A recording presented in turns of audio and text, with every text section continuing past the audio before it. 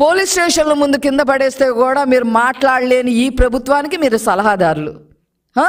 మీరు చంద్రబాబు నాయుడు గారి గురించి మాట్లాడుతూ ఉంటారు.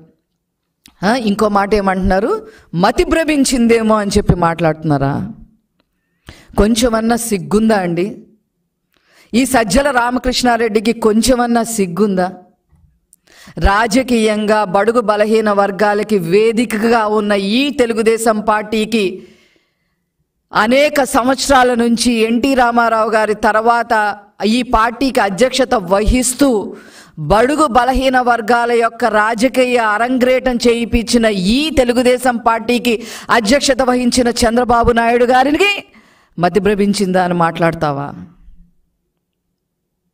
ముప్పై నాలుగు పర్సెంట్ రిజర్వేషన్లు కల్పించి బడుగు బలహీన వర్గాలకి రాజకీయంగా ప్రతి ఒక్కళ్ళని నాయకులుగా నిలిపి ఈరోజు వారి యొక్క గొంతుకుని వినిపించేలాగా అవకాశం కల్పించిన చంద్రబాబు నాయుడు గారికి మతిభ్రమించిందని మాట్లాడతావా?